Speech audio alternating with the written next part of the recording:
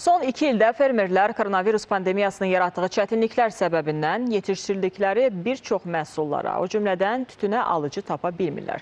Lakin Oğuzlu tütüncülər belə problemlə üzləşmirlər. Səbəbini sıradakı sujetdən biləcəksiniz.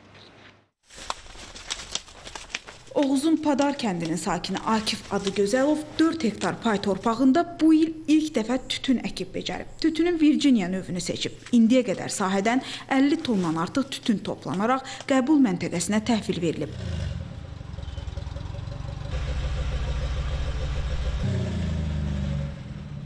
Hazırda da həm suvarma, həm də yığım prosesi davam etdirilir. Məhsulun alıcısı olduğundan gələcəkdə də bu sahəni genişləndirəcək.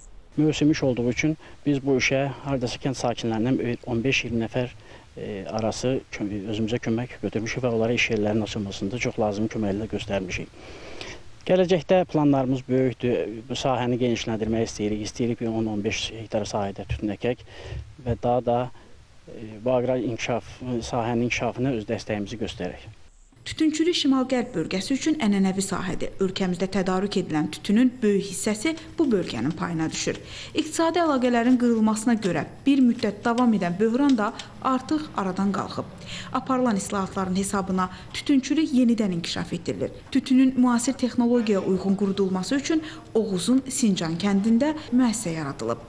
Bununla həm də tütünün satışında yaşanan çətinlik də aradan qaldırılıb.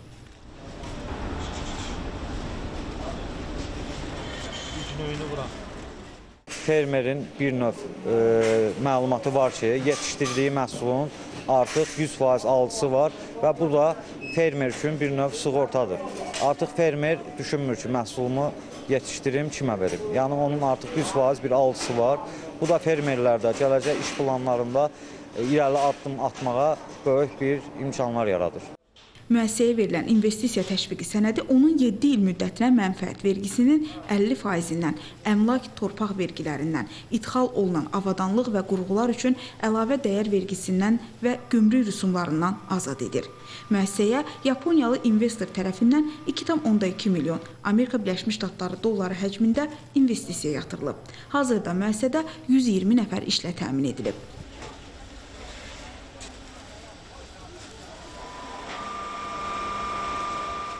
Tütünü birinci, ikinci, üçüncü sort olaraq seçirik. Seçimdə də çox diqqətli işləyirik. İşimizin məsuliyyətini hiss eləyirik. Ümidvaram ki, işimiz davamlı olar. Qarşıdakı illərdə həm Oğuzda, həm də bölgədə tütünçülük daha da inkişaf etdiriləcək. Hazırda Qəbələ, Oğuz və Şəki rayonlarında ümumilikdə 210 hektar tütün əkilir. İsmayıllı, Zaqatala, Qax və Balakən rayonlarının hesabına əkin sahələrinin 900 hektara çatdırılması nəzərdə tutulur. Əli Səmədov, İbrahim Mustafayev, Günel Habil qızı, xəbərlər.